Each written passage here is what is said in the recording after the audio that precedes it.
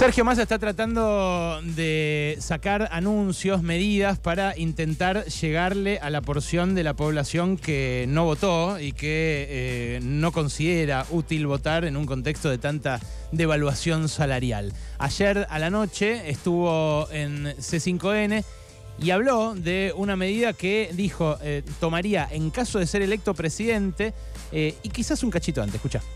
Un laburante por ahora paga impuesto a las ganancias. Y digo por ahora porque si soy presidente no van a pagar impuesto a las ganancias los trabajadores.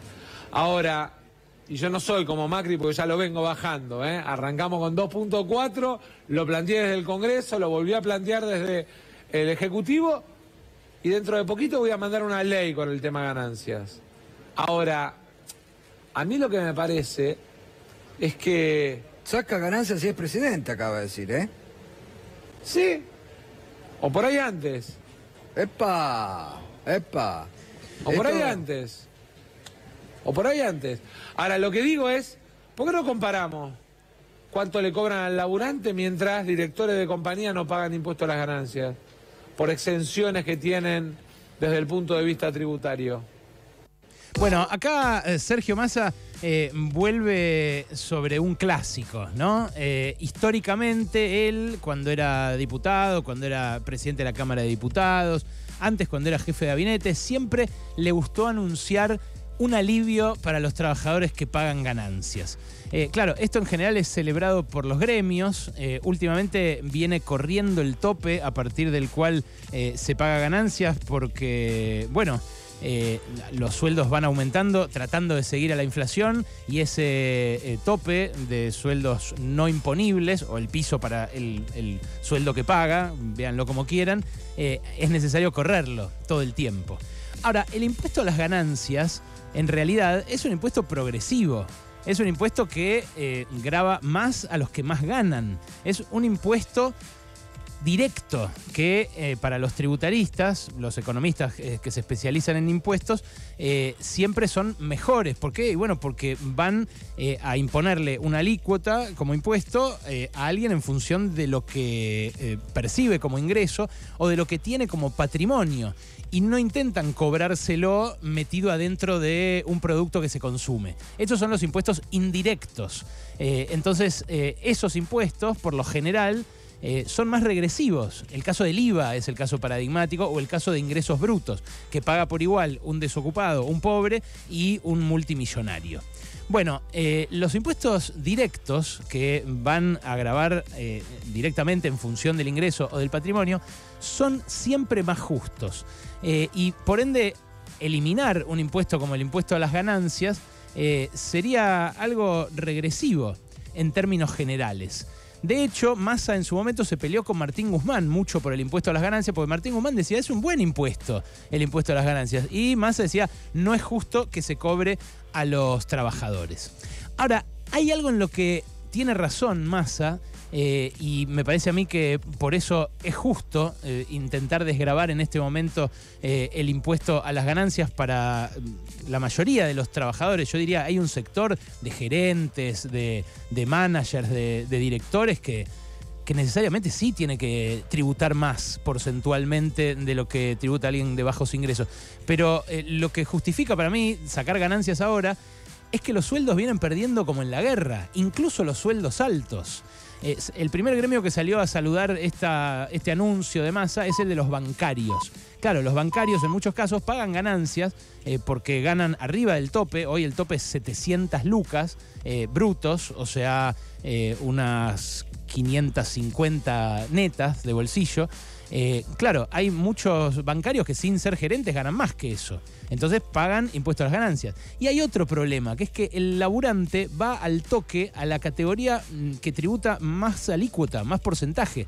Entonces la alícuota promedio de los laburantes que hoy pagan ganancias es 33% de lo que exceda el mínimo no imponible. En cambio, un accionista de una empresa o un director de una empresa que saca ganancias de lo que esa empresa generó, paga en promedio un 3% por encima del imponible.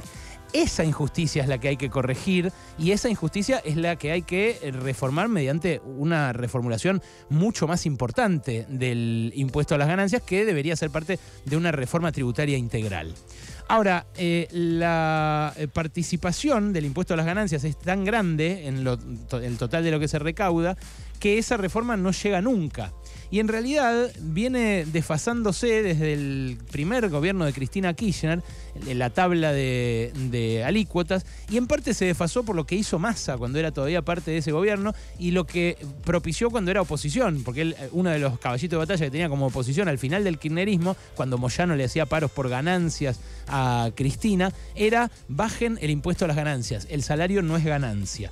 Bueno, eh, como se fueron poniendo parches uno atrás del otro para intentar evitar que sobre los gremios recayera esta carga injusta, bueno, se terminó llevando a los laburantes que pagan a esa alícuota máxima. Y lo que nunca se retocó fueron las alícuotas de las empresas, que ahora encima pueden hacer ajuste por inflación en sus balances y pueden también computar los quebrantos de años pasados, años como los del macrismo, por ejemplo, que tuvo 3 de 4 en los cuales las ventas cayeron, la economía cayó, la actividad se resintió, agarran, computan ese quebranto a cuenta de lo que deberían pagar hoy de impuesto a las ganancias. Eh, el global de ganancias sobre la recaudación es algo que eh, está en línea con los países desarrollados en Argentina. Eh, pero lo que es muy bajo en la Argentina es la participación del impuesto a las ganancias sobre personas físicas, o sea, sobre la gente que tiene guita y que la obtiene de las otras tres fuentes, no de la cuarta categoría, sino de las otras tres fuentes del impuesto a las ganancias, básicamente el dividendo empresario, porque esos pagan muy poco. Mirá, eh, en Argentina lo que se cobra de impuesto a las ganancias a las personas físicas solo representa el 7% de la estructura tributaria. En la OCDE, en los países ricos, es un 24%. Cuando vos tomás el total de ganancias, ahí ves que está en línea, que es más o menos parecido.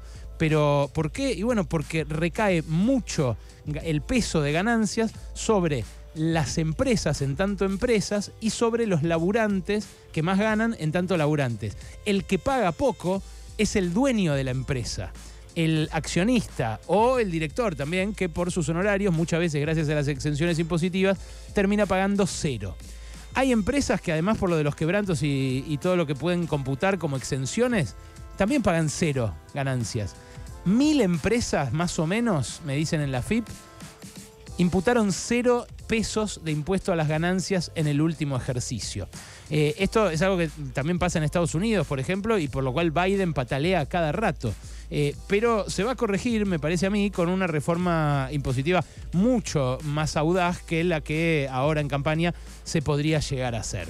Lo dicho, eh, Massa tiene una predilección especial por este tema como eh, caballito de batalla, como argumento electoral, eh, pero eh, es más complejo el asunto, como diría un sociólogo. Lo que propuso ayer a la noche a mí me parece que va en la dirección correcta, en tanto le devuelve un cachito de lo que le sacaron a una parte de los trabajadores, a los que más ganan. Estaría bueno que también a los que menos ganan, a los que ganan el salario promedio, a los que ganan 250 lucas, a los que ganan menos, a los que están monotributeando, precarizados, eh, bajo fraude laboral, porque los obligan a facturar y les disfrazan la relación laboral, que a ellos también les llegue algo de alivio. Porque para ellos sí, claramente el salario no es ganancia. Cosas. Cosas. Hasta las 16 con Alejandro Berkovich.